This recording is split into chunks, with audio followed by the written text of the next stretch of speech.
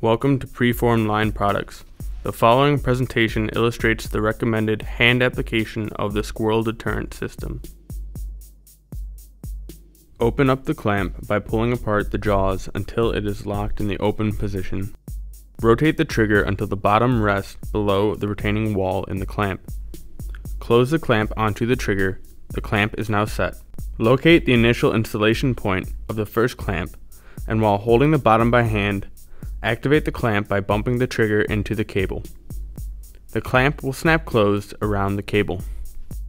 Assemble one collet onto the conductor next to the clamp you just installed. Secure the halves together with a pair of push pins.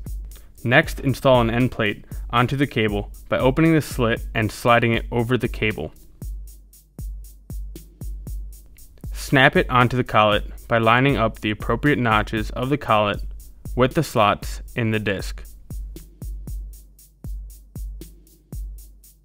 Begin to install the spinners by placing two spinner halves around the conductor and slide them together.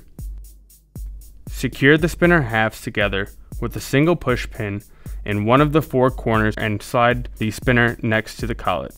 Continue to add spinner sections until the desired coverage of the cable is achieved. The standard SDS-005 is supplied with a set of 5 spinners covering 5 feet. Assemble the second collet and end plate onto the cable as previously shown.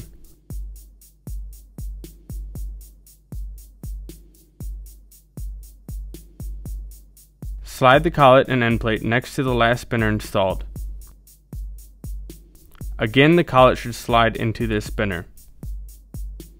Install the second clamp, leaving a gap of 1 to 2 inches between the clamp and the end of the collet. This ensures these components can freely rotate. You have completed the installation of Preformed Line Products Squirrel Deterrent System. The featured Preform product is manufactured in the United States and is backed by the experience and field support that PLP has been noted for since 1947.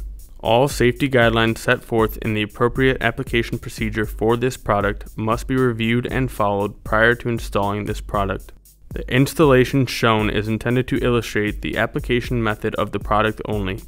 It is not intended to supersede any standard utility safety guidelines and practices or use of required protective equipment.